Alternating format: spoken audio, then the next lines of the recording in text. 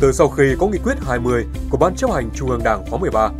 phong trào phát triển kinh tế tập thể, nhất là trong lĩnh vực nông nghiệp, đã có sự chuyển mình rõ nét. Sự tăng trưởng nhìn thấy trước tiên là ở số lượng các hợp tác xã.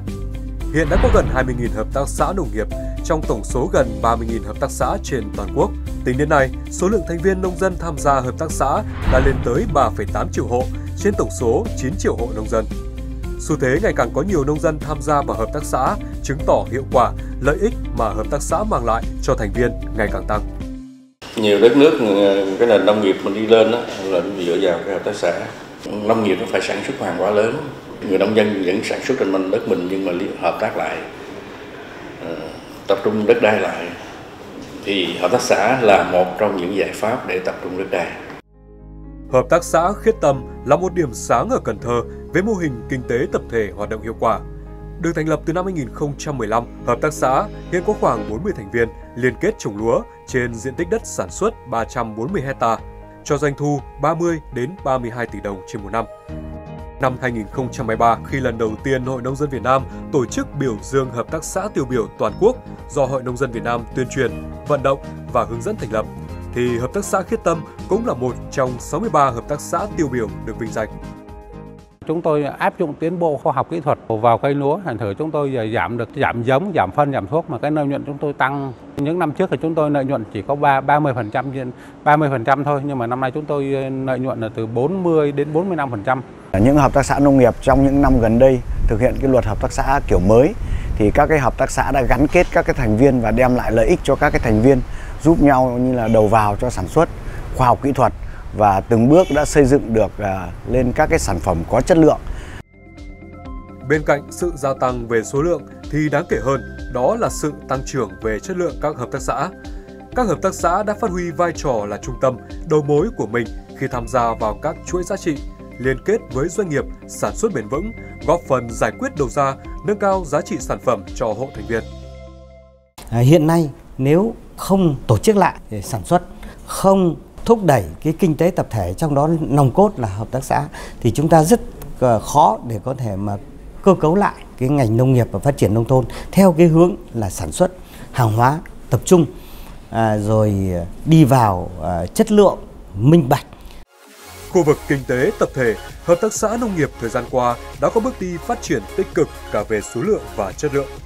Đã xuất hiện nhiều loại hình hợp tác xã, mô hình kinh tế tập thể có hiệu quả.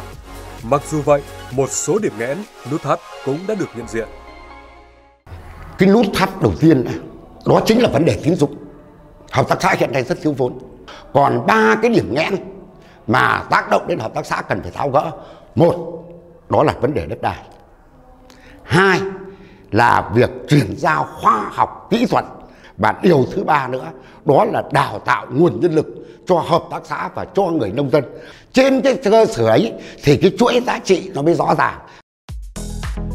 Trước những điểm khó mà các tổ chức kinh tế tập thể nông nghiệp đang gặp phải, Hội Nông dân luôn đóng vai trò là người đồng hành quan trọng, không chỉ đóng góp tích cực vào phát triển các mô hình tổ hợp tác, hợp tác xã do Hội Nông dân tuyên truyền, vận động, hướng dẫn thành lập, mà các tổ chức hội nông dân còn hỗ trợ các đơn vị này hoạt động hiệu quả, góp phần phát triển kinh tế nông nghiệp, nông thôn, đảm bảo an sinh xã hội. Khi thành lập hợp tác xã thì cũng ờ, được ờ, các ờ, cấp ban ngành rất là hỗ trợ, rồi nhất là hội nông dân, rồi là được đi tập huấn, rồi là được đi giao thương, bán hàng, rồi quảng cáo cho cái sản phẩm của mình. Sau khi hợp tác xã thành lập thì cũng tạo điều kiện cho đặc biệt là các hộ nghèo trong những năm qua là à, giải quyết cái công an việc làm thì là sẽ tăng thu nhập đời sống của nhân dân thì cũng được cải thiện. Đối với đại hội nông dân xã sẽ tiếp tục tuyên truyền vận động hội viên nông dân tham gia vào cái chi hội nghề nghiệp để bà con nông dân là nhất là các hộ đồng bào dân tộc thiểu số trên địa bàn xã là xóa đói giảm nghèo từng bước à, vươn lên làm giàu chính đáng từ chính cái mảnh đất của mình. Để cụ thể hóa những nhiệm vụ được nêu tại các nghị quyết của Ban chấp hành Trung ương Đảng, Hiện Trung ương Hội Nông dân Việt Nam đang xây dựng đề án Hội Nông dân Việt Nam tham gia phát triển kinh tế tập thể trong nông nghiệp đến năm 2030. Trình Thủ tướng Chính phủ phê duyệt với mục tiêu nâng cao hiệu quả tham gia phát triển kinh tế tập thể trong nông nghiệp của Hội Nông dân Việt Nam một cách thực chất, góp phần tạo việc làm, tăng thu nhập cho hội viên nông dân. Thông qua cái kinh tế tập thể này thì chúng ta sẽ rất dễ dàng à, trong cái việc là hỗ trợ tư vấn cho người nông dân về khoa học kỹ thuật này, về bồi dưỡng nghề này, về tuyên truyền vận động này, đặc biệt là hỗ trợ cho người nông dân cùng với lại các doanh nghiệp, các nhà khoa học, các tổ chức tín dụng có một cái liên kết bền vững hơn, hỗ trợ cho nông dân để phát triển cái sản xuất cũng như là chế biến các cái sản phẩm. Với những tín hiệu mới đang tác động lớn tới phong trào hợp tác xã, sự chỉ đạo quyết liệt của chính phủ, sự vào cuộc của các bộ ngành, địa phương và nỗ lực phấn đấu vươn lên của các hợp tác xã. Trong thời gian tới, kinh tế tập thể, hợp tác xã ở nước ta đang được kỳ vọng sẽ phát triển bền vững, góp phần quan trọng trong phát triển kinh tế xã hội của đất nước.